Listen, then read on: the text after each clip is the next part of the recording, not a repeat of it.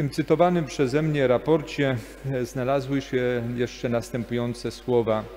Oczywiście e, raport opracowany przez dowódcę ówczesnego podpułkownika Tadeusza Czajkowskiego i zastępcę dowódcy do spraw politycznych Gerarda Śliwę. Podstawą do podejmowania przez przełożonych optymalnych decyzji umożliwiających zapobieganie niepożądanym zjawisku, zjawiskom było, był szczególnie rozwinięty system zbierania, analizowania i kształtowania nastrojów. Także i w tym przypadku głównym obiektem zainteresowania byli alumni żołnierze. W systemie tym podstawową rolę spełniali dowódcy wszystkich szczebli i szef kompanii. Kierowniczymi osobami w tej pracy byli zastępcy dowódców politycznych oraz sekcja polityczna. Poproszę teraz księdza infuata Adolfa Setlaka, który był ojcem duchownym alumnów żołnierzy w Bartoszycach. Był także moim ojcem duchownym w czasie mojego pobytu w latach 1979-80, gdyż rzeczywiście jestem z ostatniego poboru alumnów żołnierzy. Ksiądz infuat na stojąco, czy... Tak. Jeszcze daję radę. Nie będę taki wylewny jak tu mój przedmówca, ale zwrócę uwagę na jego osobowość modlitewną. Bo wszyscy wiemy, że modlił się, był pobożny, religijny dom.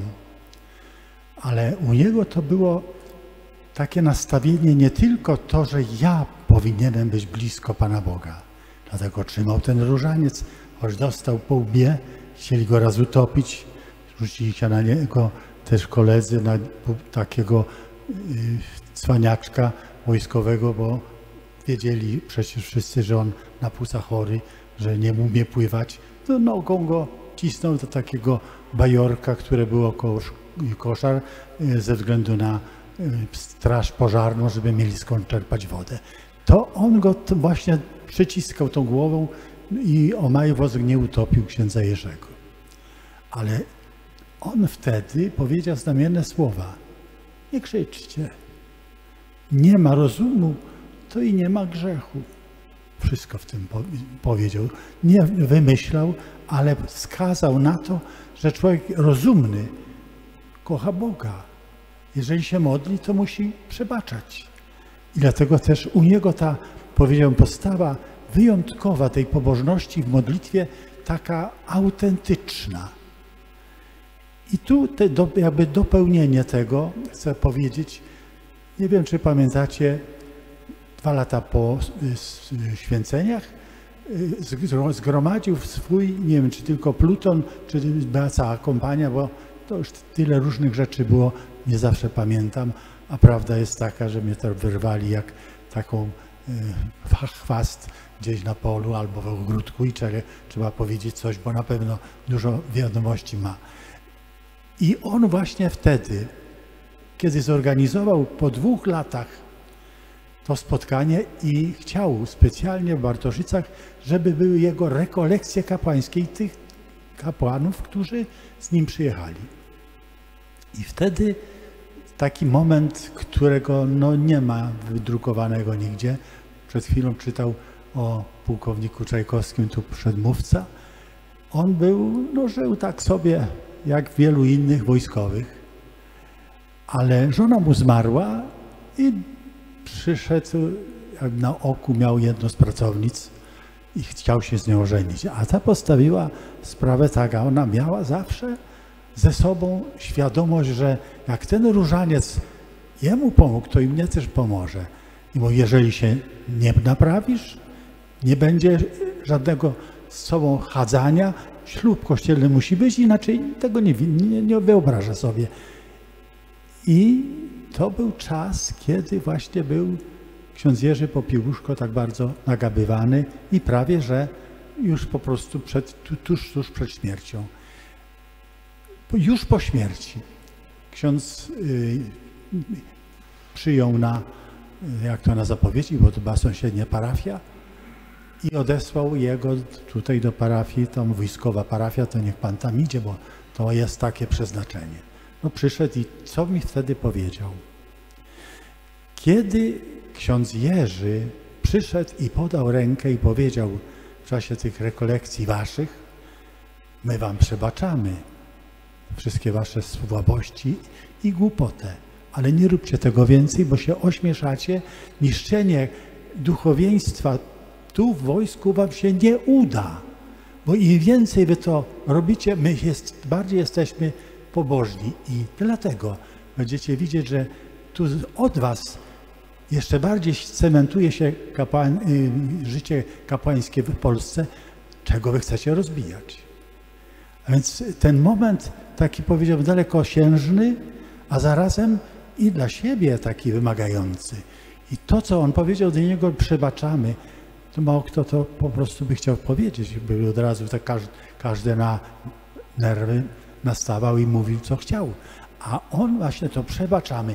Po rekolekcjach i chciał, to sam powiedział do mnie osobiście, chciałem, żeby widzieli, że trzeba przebaczać, bo Ojcze nasz wszyscy prosimy o przebaczenie. Zauważcie, to był człowiek autentyczny. To nie była taka kukiełka, potrzeba brewia, że odmówisz, to odmawia, jak to odmówi, to odmówi. I jeszcze jeden taki z tego, powiedziałbym, taki jego dyskretny sposób patrzenia na to wszystko. Czego on to zorganizował? Żeby zobaczyć, jak pilnowali to, co było w koszarach, modlitwę, mimo że dostawali cienki. Ale czy teraz pilnują tak samo brewiarz? Czy teraz pilnują takie samo przygotowanie do mszy świętej? Czy to wszystko, co jest związane z katechezą, jest przygotowane przez nas samych? I to też jest to jego oblicze tego człowieka, który nie tylko chciał, żeby to było zachowane, bo jak ankieta wyszła, gdy chodzi o co najwięcej w wojsku nauczyło cię takiej twardej postawy życia, modlitwa. Na wielu tych kapłanów, których przez jeden cały rok y, przewertowałem, to tylko jeden powiedział, że go te wszystkie muszty, to, to go mobilizowało do odwetu na tych wszystkich słabości własnych, a także innych. A tak to modlitwa. Zauważcie, to był człowiek modlitwy i dlatego wszystko inne, nawet i to cierpienie przyjmował, bo trzeba to przyjąć. Dlaczego tak jeszcze chcę to zwrócić uwagę na taki drobiazg? Pamiętacie, jeździłem na poligony, żeby tam być na mszy świętej, wyspowiadać. Tu ktoś zażartował już dzisiaj też, że dlatego trzyma się w garści, choć te 87 lat, bo te mrówki, które tak pogryzły na poligonie, gdy spowiadamy na jakimś pniu, a tych mrówek było tam od czorta i trochę. Że to wszystko dało ten animusz do organizowania życia tego fizycznego. On miał właśnie ten animusz z tego, jak go tak męczyli. On wiedział, że musi pokazać to wszystko, co Boże, tym ludziom jako apostoł przyszły. A czym o tym myślimy, gdy jesteśmy już kapłanami? Ile nieraz biskup musi naburczeć?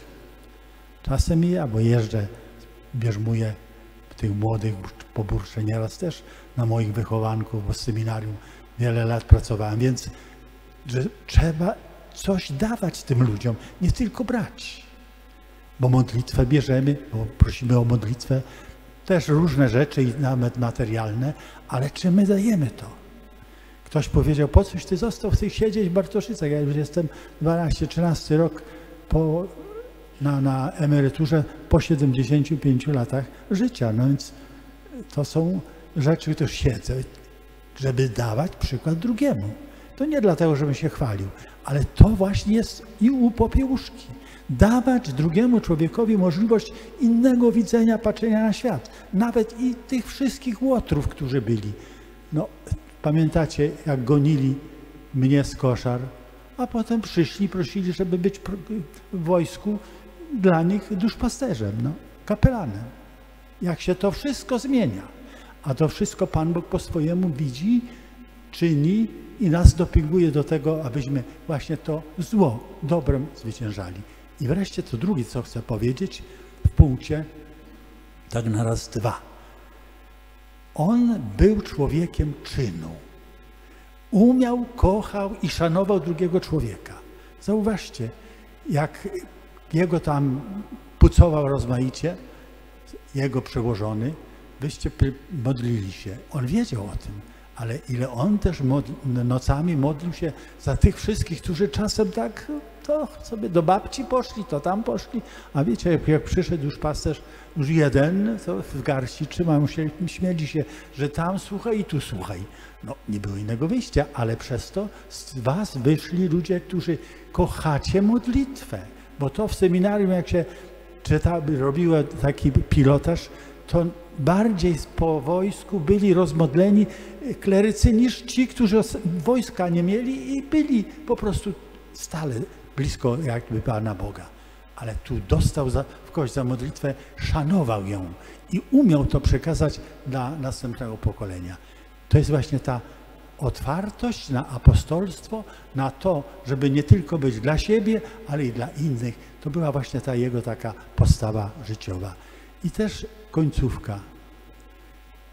Jak kilka lat temu miałem taką, takie spotkanie z, właśnie z wami, wracałem z Częstochowy i powiedział mi ktoś, że to był człowiek, który nie tylko łączył, ale z nimi jeździł, z nimi siedział w czasie strajków, im odprawiał, ale też i nosił jeść. Człowiek, który okazywał się wszędzie i zawsze człowiekiem. Taki był ksiądz Jerzy. Szczęść Boże.